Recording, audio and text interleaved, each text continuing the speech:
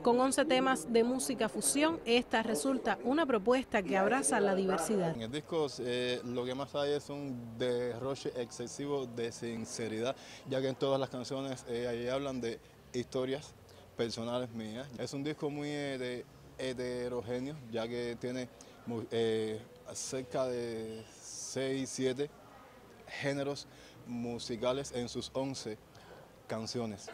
Producido por Luis Barbería, el disco estuvo concursando en el apartado de canción contemporánea en el Cubadisco de este año, donde se evidencia la colaboración e intercambio constante. Es un potro enfocado eh, eh, que, que, de manera natural eh, y, tiene mucha intuición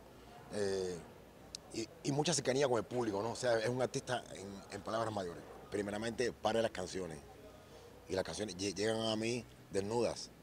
Y yo fui el, bueno, encargado de, vestirlas, de, de, ponerlas a caminar, ¿no? Eh, en cuanto a, arreglos, producción.